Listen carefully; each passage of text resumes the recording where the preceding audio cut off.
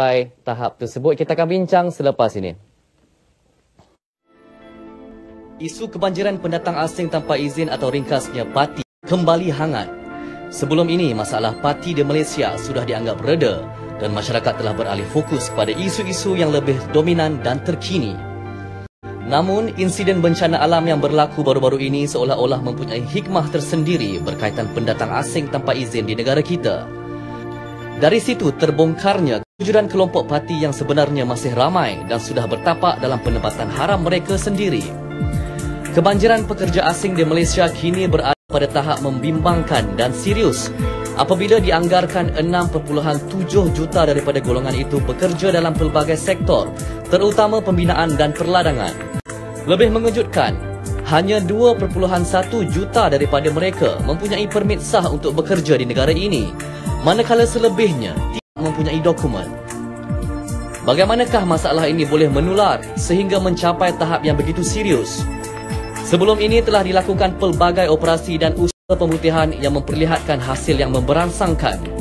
Telah ramai parti yang dihantar pulang. Syarat dan prosedur kemasukan pendatang asing ke negara juga diperketatkan.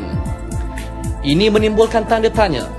Sama ada pelan tindakan yang dilaksanakan sebelum ini cukup berkesan atau tidak.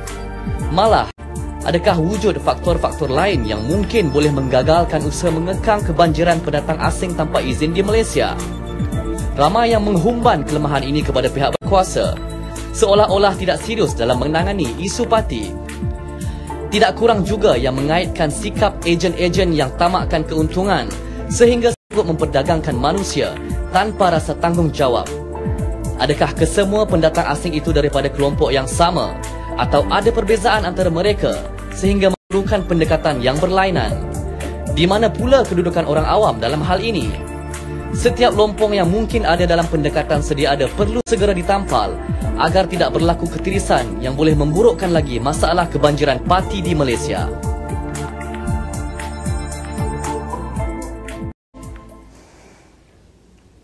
Okey, secara umumnya lah ya hmm. kita sentuh tadi ya beberapa isu yang mungkin perlu kita perhalusi uh, dan nampaknya uh, dia bukan satu isu seranjar ni. Hmm. Ah banyak cabang-cabang dia, banyak dia punya konan sana konan sini hmm. ni Syahidah ni. Walaupun ya. ini bukanlah satu isu yang baru Hazri. Dia ya. boleh dikatakan ini isu ini isu global. Tapi rakyat Malaysia ketika ini di Malaysia sendiri kita memandang begitu serius sekali keadaan ini supaya ianya dapat diburn trust ni Azri. Sebab ketika yeah. ini katanya memang uh, terlalu ramai bilangan parti tanpa uh, apa pendatang tanpa izin yeah. yang datang uh, ke negara kita. Okey, bukan hmm. saja datang.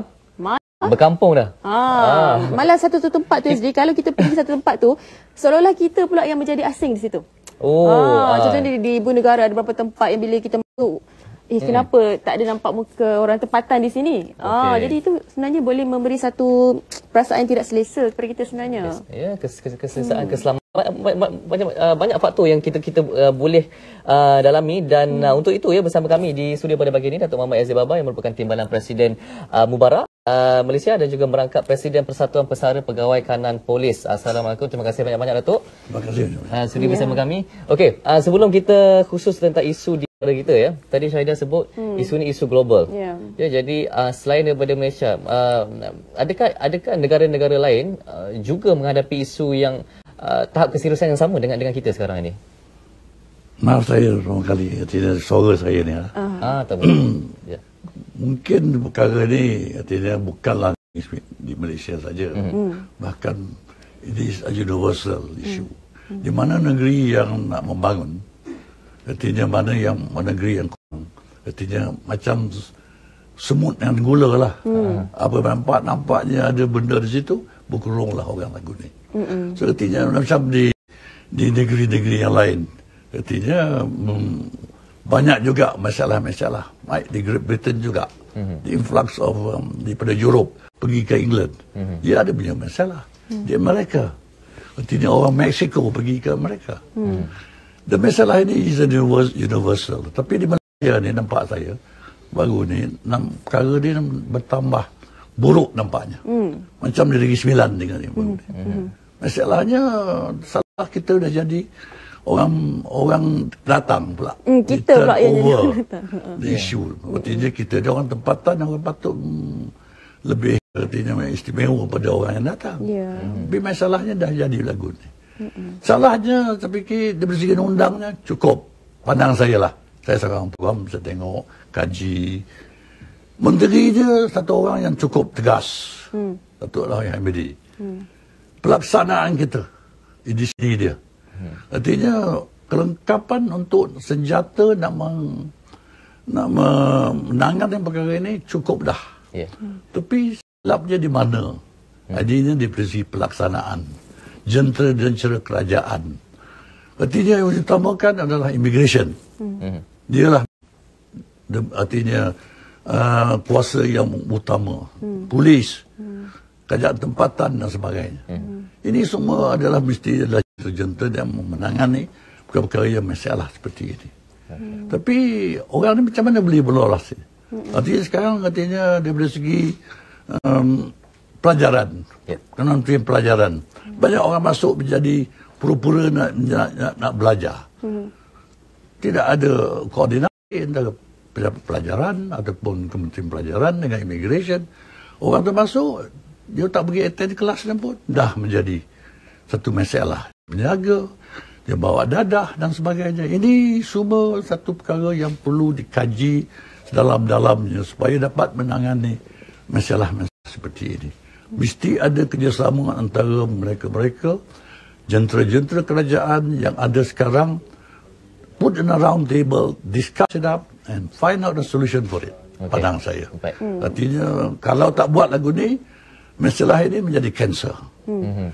Jadi sensor, lagi tak ditangani dengan berkesan, besok menjadi satu masalah yang tidak boleh hmm. dielakkan lagi. Baik. Kiranya isu ini uh, Datuk berpendapat pergi kepada penguatkuasaan yang begitu lemah lah. Dan uh, dan kita perlu buat sesuatu daripada sudut penguasaan kita lah supaya perkara ini tidak tidak boleh luasa atau bagaimana tu?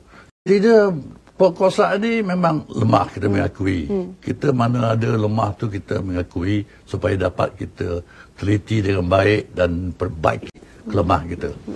Orang lain nampak artinya kelemahan. Tapi masalahnya mungkin ada. Artinya dia mungkin dia tak cukup jentera, mm-hmm. tak cukup kaki tangan macam polis sebenarnya. Mm-hmm. Nak ditambah lagi dari segi anggota. Mm-hmm. Sebab banyak tugas-tugas untuk nak mengawal uh, keselamatan, crime prevention, macam-macam lah. Traffic, bandar apa semua. Mm-hmm. Artinya nak ditambah dari segi anggota ini. Mm-hmm. Saya dengar ceritanya bahawa um, polis dah memohon dalam bajet yang akan datang mungkin ditambah lagi. Hmm. Mungkin semungkin itu artinya dapat tambah anggota itu artinya dapatlah nampak kekuatan kita. Hmm. Ini sekarang segala keamanan dalam negeri terletak kepada polis dan hmm. juga uh, jentera-jentera yang lain. Hmm. Tapi dari segi immigration ni, ya kita dah tengok artinya manusia ni biasa. Hmm. Artinya kejujuran, keikhlasan, dedikasi itu kepada tugas-tugas yang letak kepada bawah itu artinya mustahak sebagai pegawai kerajaan. Uh-huh. Artinya dia memenggak mana pihak rakyat. Dia mesti jalankan tugasnya baik dan sebagainya. Kita dah tengok baru dia baru banyak tangkapan yeah. BSPRM. Apa sebabnya perkara ini? Tentu ada penyelewengan. Uh-huh. Penyelewengan ini adalah bukan masalah yang masalah pada pagi ini. Yeah. Pada hari ini. Tapi jangan ketegas dengan dedikasi, dengan kejujuran, tekan betul-betul. Uh-huh. Masalah ini boleh dikurangkan tetapi nak menghapuskan saya fikir ada satu perkara uh, yang agak dengan teliti dengan betul-betul perancangan dengan adanya koordinasi antara semua-semua jentera kerajaan boleh kita mengatasi. Baik. Kurang-kurangnya mengurangkan to check it up from expanding. Hmm. Baik Datuk Yazid. Uh... Sekarang ni di talian uh, Datuk Akbar Sata, pakar kriminologi yang mungkin boleh memberi komen dari sudut uh, jenayah pula. Assalamualaikum, selamat pagi Datuk. Waalaikumsalam ya. Uh, kalau dilihat dari segi perangkaan uh, jenayah uh, yang di, yang dilakukan oleh pendatang asing ini menyumbang kepada 12% daripada 12%. Jadi ini termasuk pelbagai jenayah hmm. seperti uh, rogol ya kecurian uh, dan macam-macam lagi. Jadi jadi uh, tahap adakah 12% ini tahap yang membimbangkan ataupun masih lagi pada pandang dari dari sudut uh, keselamatan itu um, di bawah daripada para sederhana pandangan Datuk? Saya rasa ini merupakan satu tahap yang membimbangkan. Okey. Ke sekiranya kita tak tak apa ni uh, mencegah ya uh, pendatang haram ni keadaan akan jadi semakin teruk lah. Saya nak memberi beberapa sebab ya di sini ya. Di, Okey. uh, selain daripada tetamu ya telah memberi satu pandangan yang baik ya, dengan pengalaman-pengalaman beliau. Saya saya akui bahawa um, isu ini semakin menjadi-jadi dan rumit. Ya. Mhm. Yang, yang pertama kerana saya setujulah kelemahan uh, agensi penguatkuasa dan sikap tidak apa dan juga sayang kepada negara ya. Kerana kita dapati kalau dari segi laut ya kita dapat uh, macam peranan polis marine ya. Saya rasa begitu penting sekali untuk mengelak daripada uh, datangnya pendatang-pendatang hari kerana negara kita ni di di, di apa ni dikelilingi oleh laut. Yang Ya. kedua uh, sudah pastilah immigration ya. Immigration juga perlu uh, jangan ambil mudah ya apabila di airport ataupun di di di, di tempat-tempat kemasukan. Kerana kalau kita pergi luar negara, mereka tidak semudah itu ya untuk memberi masuk jika sekiranya uh, sebab-sebab yang yang bagus uh, yang boleh diterima. Itu itu sebabnya yang kita dengar tadi yang kebanyakan daripada pelajar juga ada menyalahgunakan pas ya. Pas-pas belajar mereka hanya bayar apa ni yuran satu semester dan mereka bekerja sini dan ada juga melakukan perkara yang tak baik seperti pelacuran. Dan ini akan memberi kesan yang tak baik kepada negara, imej negara dan juga orang-orang tempatan. Jadi yang kedua saya juga rasa um, sudah sampai masanya uh, kita penguatkuasa ni ada profiling. Profiling bermakna kita kita mesti tahu dari mana orang-orang pelacuran ni selalu daripada Siam, daripada China, daripada Taiwan dan dari segi untuk uh, menjadi kaki mencuri ATM ni orang-orang daripada Latin America. Jadi perkara-perkara ini patut di ada pengalaman oleh pegawai penguatkuasa terutama sekali immigration supaya kita dapat uh, meng, uh, mengelakkan daripada berlakunya perkara-perkara ini seperti yang dilakukan uh, oleh negara lain. Satu lagi yang susah Ya. apabila di darat ni selain pada immigration saya rasa kita di Sungai Golok tu oleh kerana berapa kilometer jalan ya yang mana uh, lorong, lorong tikus tu ya Mhm. uh, masih lagi tak dapat diatasi. Saya rasa sudah sampai masanya dibuat juga tembak ya uh, untuk untuk mengelakkan daripada uh, berlakunya uh, kedatangan orang asing. Mhm. Ya, sa- satu satu lagi ya. Ya. Saya Ya, Datuk. Silakan. ket- ketika dalam negara ya, Mhm. peranan-peranan imigresen ini sepatut buat naziran dengan secara serius lah. Okey. Tapi saya juga uh, selain pada immigration ni polis perlu menjalankan tugas dengan amanah. Ada setengah-setengah saya dengar ada yang tidak beramanah termasuk immigration. Jadi saya rasa perkara ni tak patut dibuat. Ya. Kerana kita tak boleh ambil kesempatan. Kerana isu ini adalah isu uh, kepentingan masa depan rakyat kita. Ya. Pastikan kita tangkap dan ambil tindakan. Tapi Baik. yang saya dengar, saya harap tak betul. Eh. Kadang Aha. kalau kita tangkap pagi, petang toke mari ambil. Jadi Ah. perkara ini Allah memberikan satu Ya. memalukan kita. Kerana, Da- kerana Datuk kalau Dat- kalau Datuk pernah dengar saya pun pernah dengar Datuk. Ah itu Kita itu, semua itu. pernah dengar Kalau tapi tak setakat percaya dengar pun saja. Sukar. Ya. Sebab sebab semua orang bercakap kan. Jadi kalau Ya, kita ya. ada tak ada pegawai yang berintegriti dan tak mempunyai perasaan malu dari segi Hmm. ini, saya rasa tak perlu jadi pegawai. Okay? Kerana kita kena sayangkan negara. Kerana apabila mereka berada di sini, agak sukar untuk kita mengatasi masalah-masalah. Baik. Uh, kerana mereka mempunyai uang dan mereka sanggup memberi apa saja yang kita nak. Jadi ini merupakan satu uh, saya rasa tak patut uh, berlaku lah. Ya. Baik, terima Okey, terima kasih banyak uh, Datuk Akbar. Sama-sama. Ada saya pandangan diberikan ya. Okey, um, Datuk Akbar dan juga uh, uh, pandangan daripada Datuk Yazid Sri ya. Ad, um, ada persamaan di situ. Mm-hmm. Cuma saya nak tanya soalan yang mungkin agak, agak uh, berani sikit lah ya Datuk ya. Ya. Kalau lah tak uh, uh, mungkin sensitif juga ya kerana ini juga melibatkan bencana dan juga keselamatan dan juga uh, nyawa. Mm-hmm. Kalau lah tak berlaku banjir di Cameron Highlands baru-baru ni, agak-agaknya isu ni terbongkar tak Datuk? Ialah kita biasa ni, hmm. dah bak kata orang yang sembilan tu, dah tergantuk tu baru nama dadah. Hmm. Erti dah kena tu baru kita tahu hmm. ada masalah. Hmm. Apa sebabnya perkara ni berlaku hmm. di Cameron Highland? Hmm. Satu tempat yang istimewa. Tak ada dalam Malaysia ni yang ada pada Cameron Highland. Adapun mungkin ada di Sabah dan Sarawak. Yeah. Tapi bendanya berluasan. Mengikut kajian ada satu pakar saya tengok dalam khabar semalam. Dalam tempoh lima tahun, kamera Highland akan up semuanya. Oleh sebab akisan mm-hmm. berlaku tiap-tiap kali. Mm-hmm. Takkanlah orang yang pegawai yang bertanggungjawab land office pejabat daerah. Mm.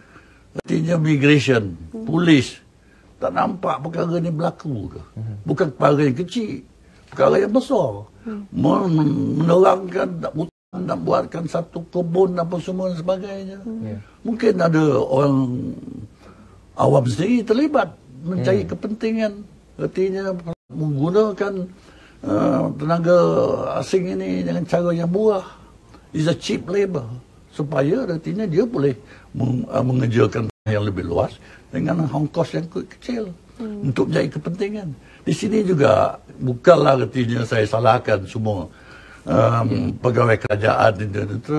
Hmm. orang awam sendiri perlu ambil dia peranan. Dia mencetuskan perkara ini. Hmm. Kalau orang awam sendiri pekebun-pekebun sayur dan sebagainya tidak ada ada bertanggungjawab bahawa apa buatan saya ini akan mengakibatkan uh, satu bencana yang cukup dahsyat. Hmm. Tapi mesti bertanggung tapi kuasa wang itu lebih mengatasi segala perkara. Hmm. Ini soal. Hmm.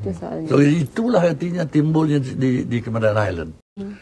The farmers artinya pokok-pokok itu untuk mementingkan kewangan lebih. Mencari kewangan dan tak kira jahanam ke negara kita ni di segi alam sekitar itu bukan masalah dia kalau mm. tak ada besok dapat duit dia boleh cabut ke lain tempat mm.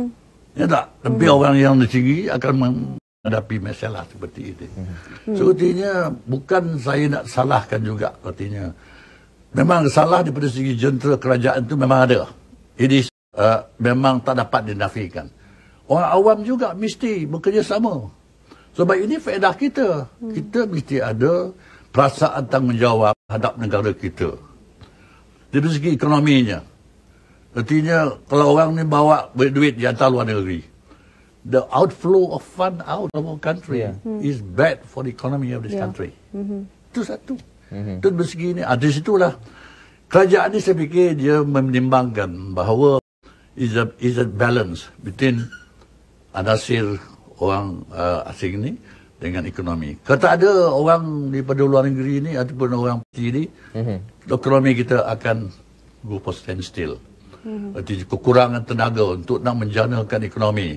Factory, fact, restoran dan semua tak ada. Artinya bukan orang tempatan tak ada minat lagi dalam perkara-perkara seperti ini. Mm. So artinya kerajaan mesti ada strike balance between economy and the disaster that brought parti yang bawakan oleh parti ini. Hmm. Ini mustahak itu tu. Mesti ada satu round table mendalam betul-betul mengkaji bawa orang orang NGO orang yang lain memikirkan setakat mana daripada industri daripada NGO daripada kerajaan memerah otak yeah. nak mengasal masalah ini. Okay. Kita dah lama artinya cuba nak menyelesaikan masalah hmm. dengan pengampunan dengan ini hmm. tidak ada hmm. lebih lebih mudarat pada kita. Okay mungkin kita perlu lihat balik lah. Dari sudut maknanya kita sekarang ni hanya fokus kepada parti itu sendiri tapi kita tidak pergi kepada kakar umbi mengapa perkara itu berlaku. Seperti yang dikatakan seperti Datuk Akbar tadi, pagi hantar balik, petang tinggal datang balik ambil. Jadi itu sebagai satu saya kira takkan habis. Takkan habis isu ni akan sentiasa berulang alik dan itulah dia Azri yang saya kira uh, poin uh, yang penting ketika tadi iaitu kita semua lah Azri kena ambil integriti kita. Ya. Integriti kita. Tanggungjawab tanggungjawab kita hmm. sebagai rakyat kita. Kita tidak rukun negara, kita taat apa semua hmm. dan sebagainya. Tapi berapakah orang yang menggunakan dengan prinsipnya apa-apa itu. Hmm. Artinya bukanlah artinya uh, orang Melayu saja bahkan seluruhan. Siapa rakyat di Malaysia ini berpegang teguh kepada susila-susila yang ada dalam rukun negara dan sebagainya. Taat setia pada negara ini. Yeah. Tapi artinya sebab banyak anak kasih kewangan dan sebagainya kepentingan hmm. maka lupalah daripada segi tanggungjawab itu. Okey. Yeah. Dalam hmm. uh, mungkin uh, baki masa yang ada uh, dan, uh, dan dan juga tadi ni Datuk ya secara yeah. ringkasnya. Yeah. Jika ya uh, kerana ada yang berpendapat bahawa okey kalau tak adanya pendatang asing ke negara kita ni uh, hmm. uh, beberapa sektor dalam ekonomi akan Lumpuh. akan akan akan uh, perlahan. Hmm. Okey, jika uh, masalah parti ini dapat diselesaikan adakah ekonomi kita akan uh, mengalami satu fasa perlahan pandangan Datuk? So, saya kata, parti ini namun dijadikan putih Ya. Ha, jangan hmm. jadikan parti. Artinya hmm. pendatang Aram tanpa izin. Tak ada. Tak Dihalalkan betul-betul. Yang sah. Dapat ya? kita menentukan di mana dia bekerja. Siapa dia. Siapa hmm. bertanggungjawab. Hmm. Dan sebagainya. Hmm. Kalau bertanggungjawab, dia kada bekerja dengan factory. Dibuatkan syarikat itu bertanggungjawab menentukan dia bekerja betul-betul untuk nak majukan industri di sini. Habis masanya, dia hantar dia balik. Hmm. Tapi bagi dia upah. So, jentera itu, regulating the issue berkenaan dengan itu, kita mesti ada. Kita berkenaan orang tenaga dalam ini untuk nak majukan supaya negara ini 2020 maju sebagai yeah. mm. industrial nation. Artinya kita tak dapat lagi daripada segi nak majukan industri ini. So artinya kita nentukan dengan cara dan minta supaya orang yang bawa orang pekerja ini bertanggungjawab keseluruhannya. Yeah. Kita nak itu. You mm-hmm. got to strike a balance mm-hmm. between the disaster of party dengan ekonomi kita. Mm-hmm. Kita tak boleh uh, biarkan perkara ini. Nanti besok huruf ekonomi kita mm-hmm. oleh sebab kekurangan tenaga. tenaga. Kita tak akan tenaga. Tetapi right. kita regulated kan mengambil uh, pekerja-pekerja ini dengan lebih khusus. Boleh kita trace from A to Z. Hmm, Baik. Itu dia. Uh, Baik. Terima kasih banyak-banyak Dato' Yazid atas pandangan yang diberikan. Yeah. Uh, dan uh, jelas sekali ya dah tak boleh ambil sambil lewa lagi hmm. perkara ni kita kena uh, bertegas nak tak nak terima hakikat ya yeah. ada perkara yang telah pun pincang sebelum ini kena berbetulkan balik hmm. ya dan orang awam uh, juga Sri hmm. kalau kita nampak berlakunya tempat sendiri tu begitu ramai sekali uh, parti apa kata kita salurkan ataupun melaporkan kepada pihak berkuasa supaya yeah. perkara ni tidak kita biarkan kadang kita hmm. takut dia Sri Uh, ada yang kata ada yang takut, ada yang kesian. Uh. Ya, ada ada yang kata, oh dia orang pun nak cari makan juga, hmm. dia pun manusia. Kita uh, berpada-padalah Yeah. Uh, berpada-pada biarlah biarlah kita kesian uh, kena pada tempatnya. Yeah. Uh, yang datang secara sah yang memang datang betul-betul untuk untuk ya uh, membina kehidupan mengikut uh, saluran yang betul dengan dokumen-dokumen uh, yang uh, yang uh, sahih. Mm-hmm. Insya-Allah kita kita dengan tangan terbuka ya menerima mereka sebagai kawan-kawan kita. Yeah. Tapi masuk dengan cara yang tidak betul dan membawa uh, mungkin amalan-amalan yang boleh menghuru-harakan kehidupan kita, mm-hmm. itu kita tak nak. Ah itu uh. yang kita tak nak. Itu dia yang dapat kita kongsikan seketika tadi.